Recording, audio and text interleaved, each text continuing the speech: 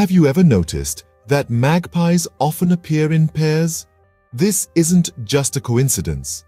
These intelligent birds form lifelong partnerships, sticking with their chosen mate through thick and thin. An intriguing fact to start our journey into the life and habits of magpies. Creatures that are much more than what meets the eye.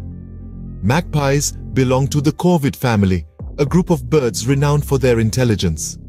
These birds have been observed using tools, recognizing themselves in mirrors, and even mourning their dead, putting them in an elite group of animals that display such complex behaviors. But let's not get ahead of ourselves. Let's take a step back and start from the beginning. Magpies, like all birds, start life as an egg. After about 20 days of incubation, a tiny, helpless chick emerges, but it won't stay helpless for long. In just three to four weeks, this chick will fledge and learn to fly. It's a quick transition, driven by the harsh realities of life in the wild. The magpie's diet is as diverse as its skills. These birds are omnivores, consuming everything from insects and small mammals to berries and seeds.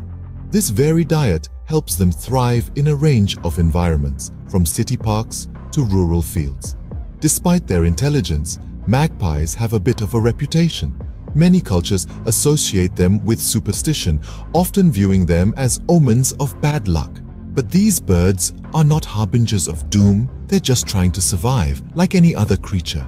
One of the most fascinating aspects of magpie behavior is their ability to recognize themselves in a mirror.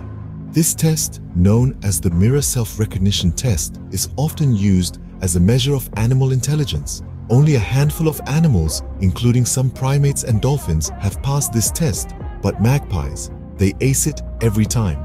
Magpies also display complex social behaviors. They live in groups and have a hierarchical social structure. Each group has a dominant pair, and other members of the group recognize and respect this dominance. It's a system that promotes stability and reduces conflict within the group. In summary, Magpies are incredibly intelligent birds with complex behaviors and social structures. They form lifelong bonds, use tools, recognize themselves in mirrors, and have a varied diet that allows them to thrive in diverse environments. Despite their association with superstition, they are just trying to survive in a world that often misunderstands them.